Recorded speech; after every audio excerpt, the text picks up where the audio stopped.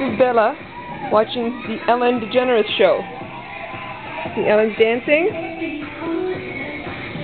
And this by Bella. Dancing as well. Now she is seven weeks old. And then